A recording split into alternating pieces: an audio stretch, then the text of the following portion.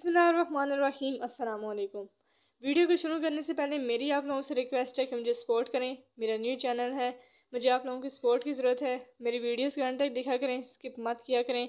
Videos को like किया करें, शेयर किया करें अपने फैमिलीज़ और फ्रेंड के साथ। और मेरा चैनल शाहीन कुकिंग को सब्सक्राइब करना मत भूलें। और इसके साथ साथ बेल आइकन को प्रेस करें ताकि मेरे आने वाली हर नई वीडियो से आप बाखबर आ सकें।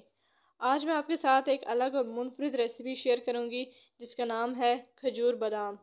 खजूर बादाम को हम रमज़ान से पहले ही तैयार कर लेते हैं और रमज़ान मुबारक में हम अफ्तारी की जीनत बनाते हैं। खजूर बादाम बनाने के लिए हमें जो अज़ा ज़रूरत होंगे वो ये हैं। खजूर दो पैकेट, खजूर को मैंने अच्छी तरह तीन पानी में धो लिया है और खुश कर लिया है। बादाम दो पैकेट, नारियल पाउडर 120 ग्राम। खजूर बादाम बनाने का तरीका, सबसे पहले खजूर लें, उसे दरमियान से काटें।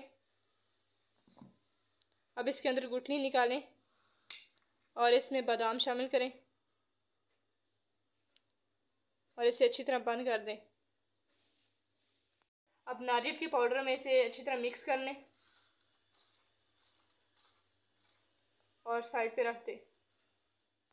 माशाल्लाह से हमारे बादाम खजूर तैयार हो गया है। ये रमज़ान मुबारक का प्यारा सा तोहफ़ा है।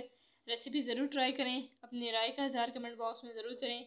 वीडियो को लाइक और शेयर भी करें। मुझे दीजिए इजाज़त। खुदा हाफिज़।